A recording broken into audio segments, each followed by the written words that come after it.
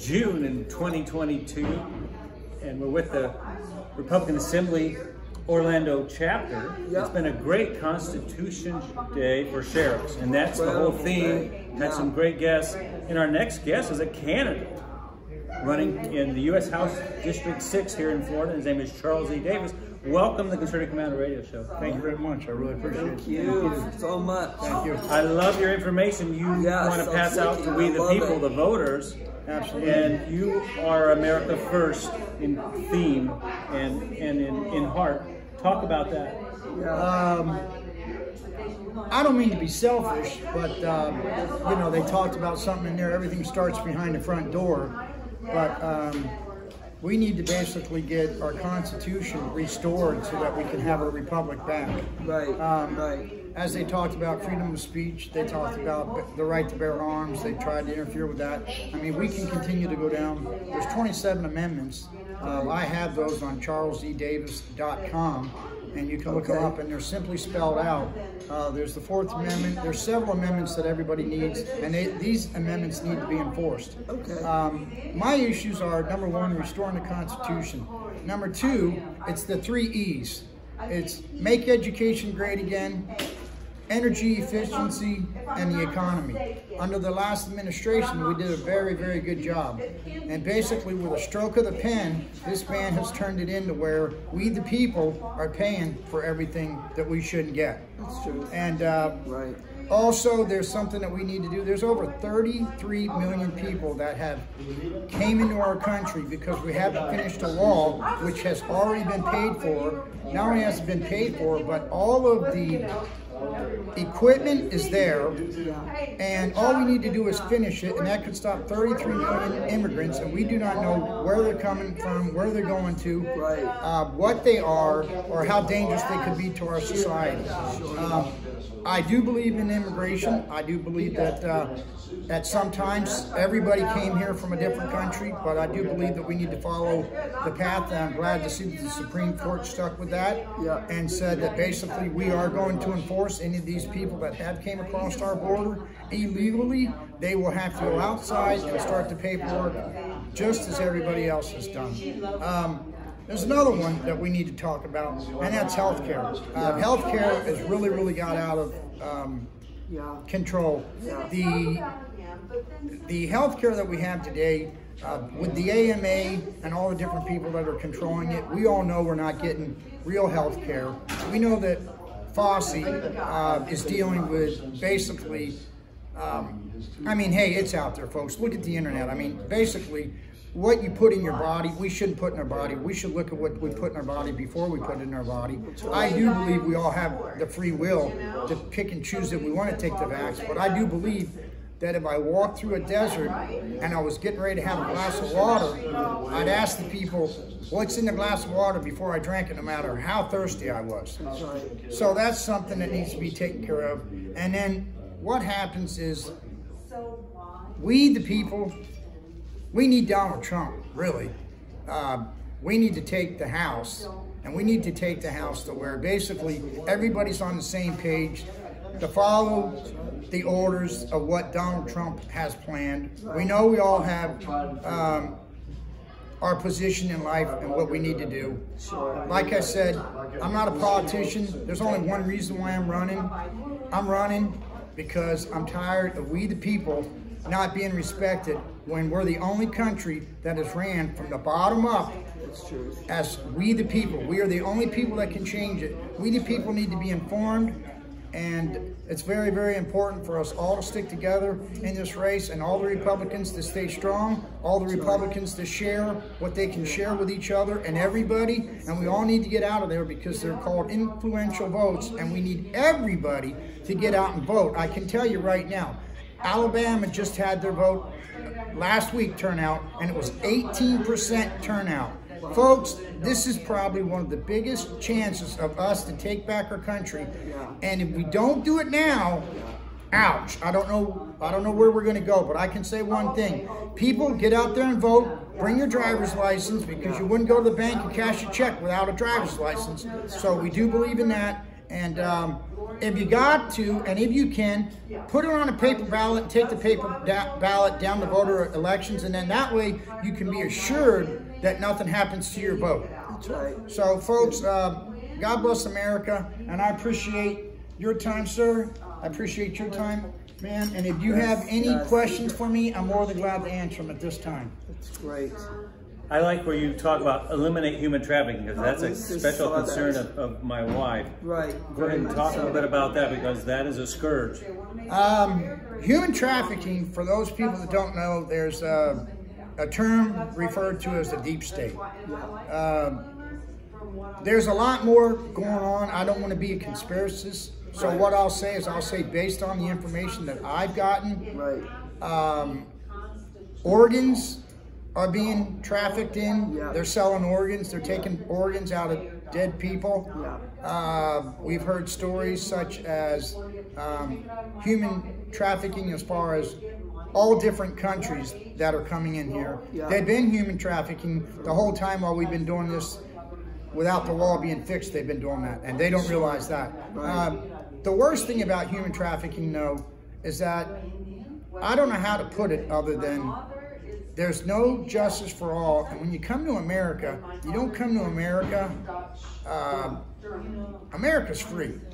So human trafficking is something that we need to we need to just not tolerate it. I mean, it needs to be it needs to be stopped at the borders. Right. Uh, we need to get people more. If we need LEOs, law enforcement officers, if we need some type some type of bill passed through Congress or whatever, it should be on a top priority list about human trafficking.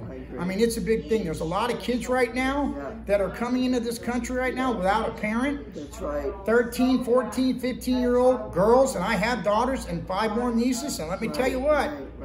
Uh-uh, uh-uh, uh-uh, uh-uh, uh. And what they're doing is they're abusing them. Yeah. Um, folks, I would really, really say for anybody that's concerned about human trafficking, it's probably one of the biggest concerns that we have. And I do know that Donald Trump stands firm behind stopping human trafficking. Absolutely. because that's related to drug overdose and fentanyl and these illicit drugs coming to our country. Uh, that's that's that's also another thing that we need to finish the wall. A lot of those drugs are coming through there. You know, we tou- we touched on this that you know we would think that these drugs that are coming into California or coming into Texas or coming into Arizona or coming into Florida. Well, you know, we just found out that they made them all the way up into Ohio, and that's one of the largest death rates right now from that kind of drug. So you know, these people are not moving around. I mean, they got they are. I don't want to say George Soros people, but I just want to say that uh, they're um, they're with the establishment. It's a bad thing. It's not good for people. But worst of all, it's not it's not human. It's it's, it's it, you're not treating people like humans. And I'll tell you what, we have a heart, and in um, our country, the United States of America. We run under common law. We don't run under corporate law. So what we need to do is we need to enforce all our laws, and we need to get judges to enforce all our laws, and we need to get people that stand up to the deep state and the establishment and are willing to stick their neck out there, have the courage, have the guts, have the stamina. Because uh, trust me, when I got into this, they asked me if I was ready for a battle. I said, yeah. Then they asked me if I was ready for a war, and I said, yeah. Then they asked me if I was ready to be called every name in the book, and I said, yeah. Well, let me tell you what. It's the way it is, but I'll tell you what, to keep my country free, we will do what we need to do. And in order to stop everything that, well, I'm just going to say it real, real, real simple. It's an evil versus good out there right now. It's dark versus light, and we need to understand it. And human trafficking all we can say is we can say, look it up, and I think you'll find out that there's a lot of people that are in politics that have something to do with human trafficking. I think they'll find out that Mr. Epstein uh, Mr., uh, was a good friend of uh, Mr. Clinton's.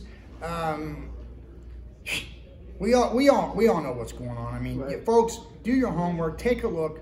Uh, no matter what you got to go to, come to the Air Talk Radio, listen to the radio stations, listen to other people, but keep your mind open, a mind open, and you're alert. And uh, most of all, um, you know, it says one thing in the Bible. It says, "Protect your heart above all. That's And right. uh, this is what we what we really, really, really need to do. We need to all treat each other like we're human, but at the same time, we need to be a domestic group right now and take care of America first and give the rest of the money to other people later.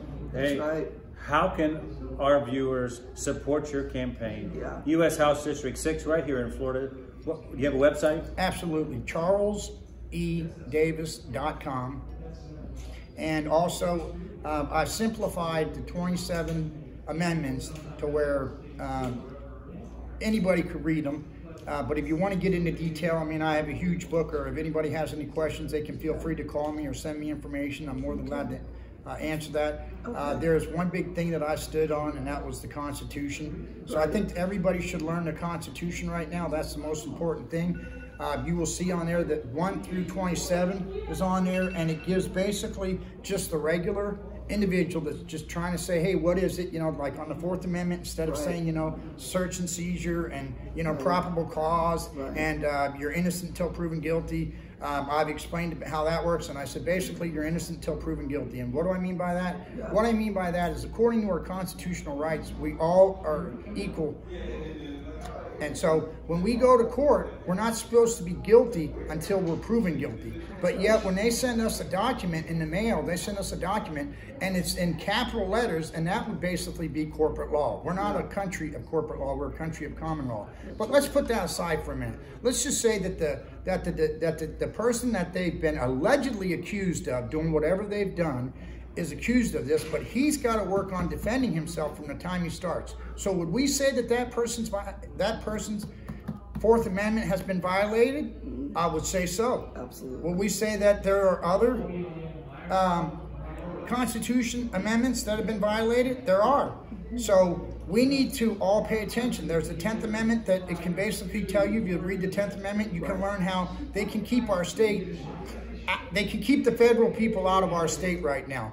As we all know, you know, um, Florida has a, has a large surplus. I mean, in the billions. Uh, we won't even get to a number, but I believe it's somewhere over eight billion dollars. And uh, we got a great, great, great, great governor. Governor DeSantis has basically stood up, Yeah. uh, fought the fight.